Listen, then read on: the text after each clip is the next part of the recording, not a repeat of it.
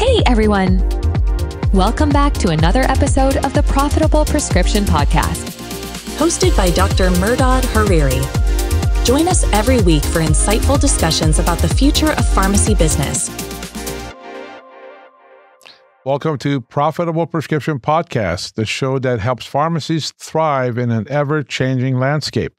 I'm your host, Mehrdad Hariri, and in today's episode, we are diving headfirst into the new year and the challenges every pharmacy faces, such as DIR fees, contract changes, but fear not, because we'll also discuss how utilizing the right marketing tools can enhance and improve your pharmacy business. So let's get started.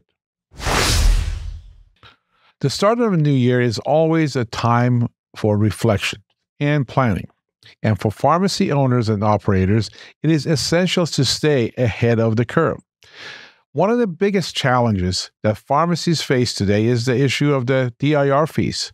These fees can significantly impact your pharmacy's bottom line, making it crucial to find effective strategies for managing them. So, what are DIR fees and why are these a concern for pharmacies? Well, we all know DIR fees are, are retroactive adjustment made by pharmacy business ma- uh, benefit managers and is soon to be right at the point of care. So uh, you'll know exactly how much is being deducted from your check or how much money exactly you're making when you are dispensing the medication. These fees can fluctuate, as you know, and can be substantial and can truly impact your pharmacy profitability.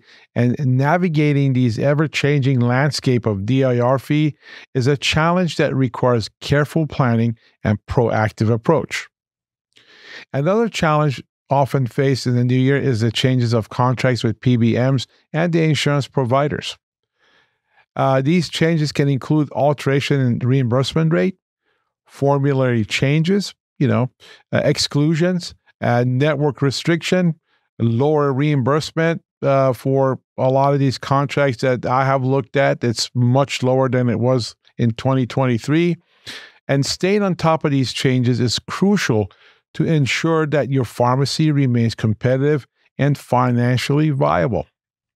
But here's the good news though effective marketing can help pharmacies overcome these challenges and improve their business by leveraging these right marketing tools, you can, number one, educate your patient, use your marketing channels, such as your Facebook, Instagram, uh, uh, other tools that may be available to you, uh, such as direct mail, uh, and uh, share with your patients about how these DIR fees are, you know, affecting your business.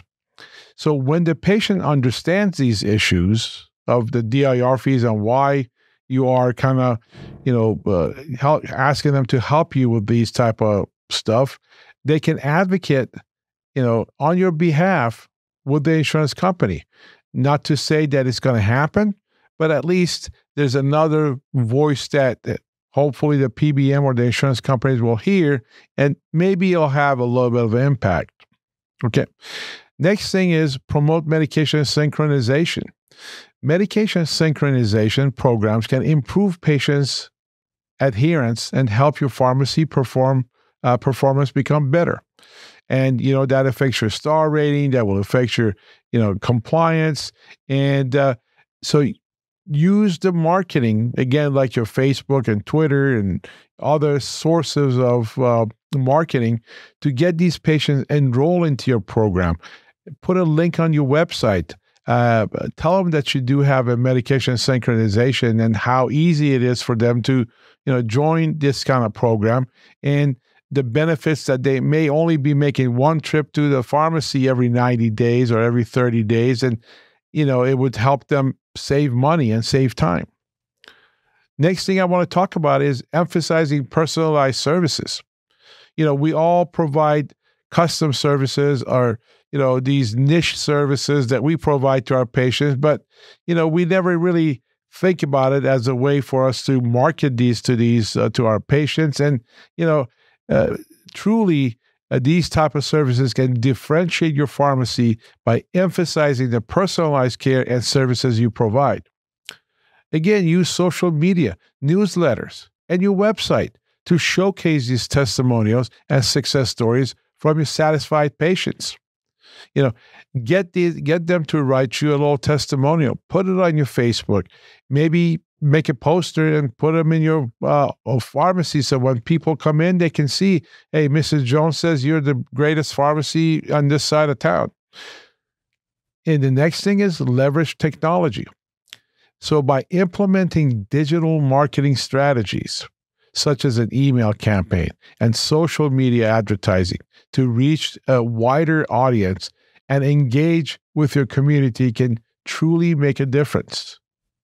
Don't ever discount that, hey, I put stuff on the social media and I never hear anything. I don't see anything. Nobody does anything. Nobody ever mentions it to me because you need to have the right message and the right content and the right resources, and you can get these patients to engage, and uh, that would make a big difference. And hopefully, they'll contact you and they ask for more information, and you can provide provide them these uh, type of services.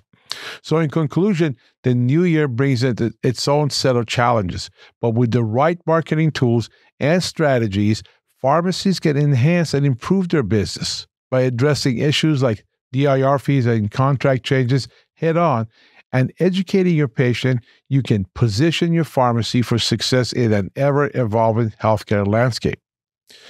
I want to thank every one of you for joining us on an episode of the Profitable Prescription Podcast.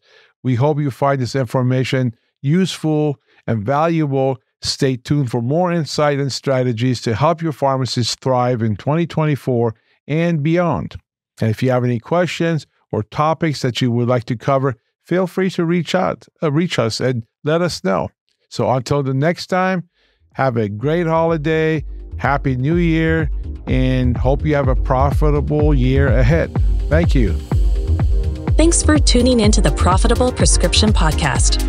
If you'd like to be a guest on our show, please contact us with the email in the description, and please be sure to like and share our podcast on your favorite playlist directory.